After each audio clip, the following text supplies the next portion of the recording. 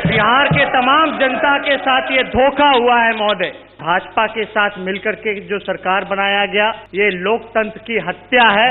आप लोग सत्ता के लालची लोग हैं।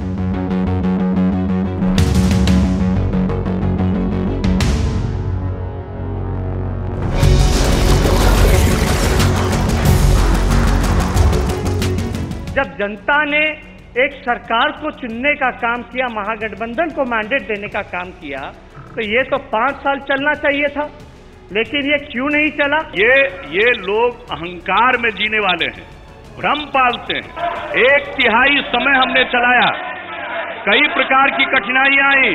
हमने गठबंधन धर्म का पालन करते हुए हर तरह की समस्या को दूर करने की कोशिश की। छल कपट और नकारात्मक राजनीति जो हुई है जोड़ तोड़ की बात जो चली है मेरा ये स्पष्ट मानना मेरा ही नहीं बल्कि पूरे देश का मानना है कि ये पहले से ही प्री प्लान था। अगर धन संपत्ति अर्जित करने के लिए कोई राजनीति करेगा हम उसका साथ नहीं दे सकते हैं। यह हमारा संकल्प है। इसलिए महोदय बिहार के हित में राज्य के हित में न्याय के साथ विकास के हित में यह फैसला जनता दल यू ने लिया है। बीजेपी के लोग यहाँ मौजूद है साथ सरकार में हैं। हम उनसे भी पूछना चाहेंगे कितनी भद्दी भद्दी गालियाँ। आप लोगों ने अपनी मनपसंद की गालियाँ माननीय मुख्यमंत्री जी को देने का काम किया। हम बताना नहीं चाहेंगे।